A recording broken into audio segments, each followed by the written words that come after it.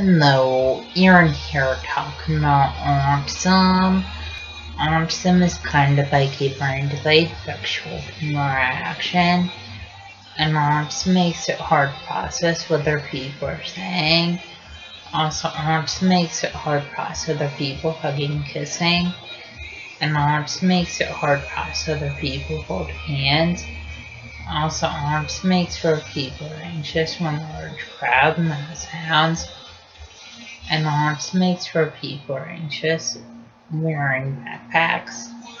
Also, makes for people anxious at school day. Makes for people anxious on the school bus.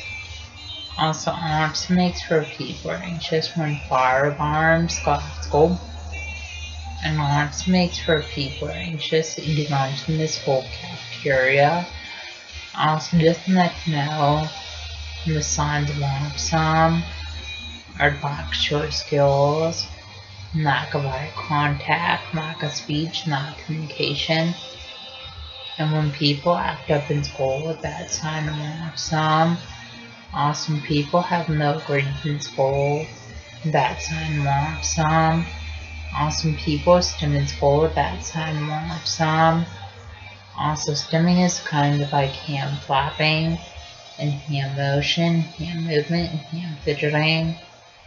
And people with some stim in school classes, and stim walking out of school classes.